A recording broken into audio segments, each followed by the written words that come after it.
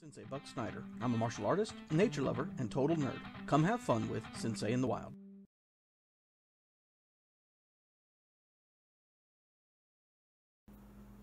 Okay, what's up YouTube? We're here. I talked about in my five line skink video. This is the five line skink we have. We're setting him up a little terrarium and uh, we're going to show you progress on the terrarium and we're just starting to set it up right now. And this is the first step. We got a, um, uh, river rocks down in the bottom down here and we've got a log where he can come around and run in and we're going to add several more layers of different substances for him to be able to bury in and have plants and all this. But this is just step one.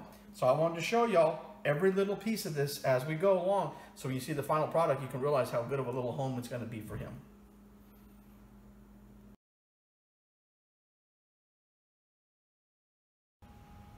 Okay guys, video two. Uh, on the vlog, we're setting up the terrarium for the five-line skink. If you look here, we found a home for it now. We got it in its spot, and here's what it looks like. Bam, that's it at this stage. Right now, just to give you a little recap, we've got uh, river rocks down here on the bottom. We got a substrate of soil actually from this area where the skink normally lives and he's comfortable in. On top, we have um, coconut fiber and cypress mulch mixed in. And in this corner over here, I have moss. We've got his little drinking area. We've got these rocks set up for a basking area in the middle. And we got the logs that he can walk on and if he feels like climbing. Okay, so this is the beginning of his terrarium. We'll add more plants and more stuff later on.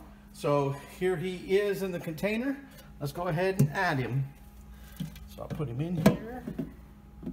And I'll give him a little slide down into his new home. Touch his little butt to get him to run. There we go. And these little guys, they naturally love to dig. So he might find a little hole and move into it right now. All right, so that's the second video. We'll come back with you with another third one. Thank you. Okay guys, an update on the vlog. Uh, for the aquarium, we got the, I'm sorry, terrarium, we got it set up here. Uh, we moved it into the guest bedroom now, and we got it up here on the dresser where you can actually see it. And uh, we got the little skink in here living, and we've got crickets. You'll see this thing. This was where we bought the baby crickets, and there are mealyworms all in there. And we got the heat rock over in that corner, because when you set up a terrarium, you have to have a hot side and a cold side for reptiles. So we got the hot side over here and the cool side over here. But this is only a temporary setup. Uh, we're going to move him in. One thing about skinks is they love to have a lot of room to roam. And this aquarium is a proper size for a small skink, but as he gets bigger, he's going to need more space. So if you look over here, we have a giant tank. We're going to use this big sucker here, and we're going to create a terrarium for him in here. And uh, we're going to, you know, put all, just like that, all the different substrates down here for him to bury in. We're going to put plants. We're going to even put a water feature. We're going to give him a completely uh, perfect environment to grow up in and live in and be happy in. So uh, just want to give you an update. This is the empty tank. Next one you'll see should have some stuff in it and uh, we'll give you an update.